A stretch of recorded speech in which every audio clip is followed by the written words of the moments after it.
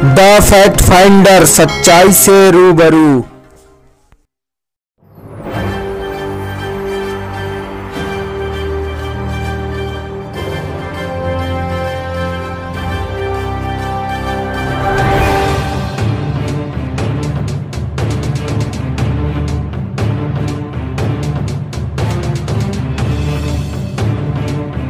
The fact finder में आपका स्वागत है। The fact finder social media viral viral झूठ की सच्चाई आपको बताता है और साथ ही वो न्यूज़ देने की कोशिश करता है जो दूसरे माध्यमों से आपको पता नहीं लग पाती है। अगर आपने अभी तक हमारा चैनल सब्सक्राइब नहीं किया है तो चैनल को सब्सक्राइब करके बेल आइकन दबा लें ताकि जब भी मैं वीडियो अपलोड करूँ, उसकी नोटिफिकेशन आपको मिलती रहे। जैसा कि वीडियो का थंबनेल देखकर आपको पता लग ही गया होगा कि आज मैं कोरोना वायरस फैलने का केंद्र बने धार्मिक स्थल के ऊपर बात करने वाला हूँ।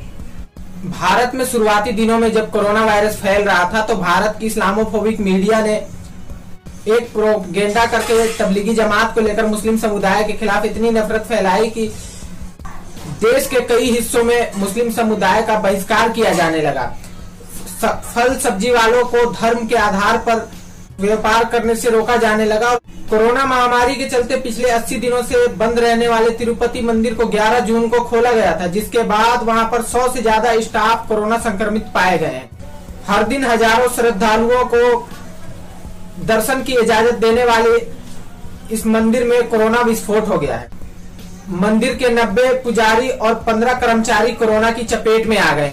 हालाँकि ये कोई पहली बार नहीं है, जब कोई पूजा स्थल या धार्मिक आयोजन कोरोना फैलने का केंद्र बना हो। वो अलग बात है कि मीडिया संघ और उसकी मिशनरी ने हमें मौलाना साहब का नाम याद करा दिया है।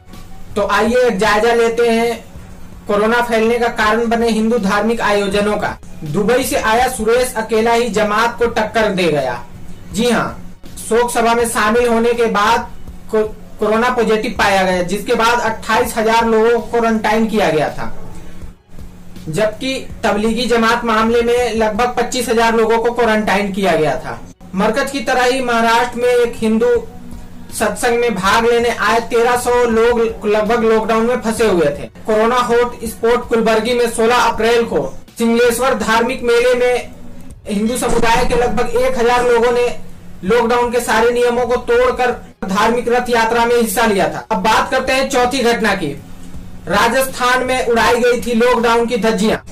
बूंदी ज़िले के रामनगर में तबलीगी जमात जैसा ही एक आयोजन कर, आयोजन का मामला प्रकाश में आया था जिसमें सैकड़ों लोग शामिल हुए थे। अब बात करते हैं पांचवी घटना की। रामनगर में नेजा की सवारी में उमड़े थे डेढ़ हज़ार हिंदू समुदाय के लोग। किसी की नहीं सुनी थी। सिर्फ़ इन पाँच घटनाओं की आप जब डाटा निकालेंगे और देखेंगे तो आपको पता लग जाएगा कि किस तरीके से तबलीगी जमात के कुछ लोगों को कोरोना पॉजिटिव पाए जाने के बाद पूरे मुस्लिम समुदाय के खिलाफ नफरत फैलाई गई थी।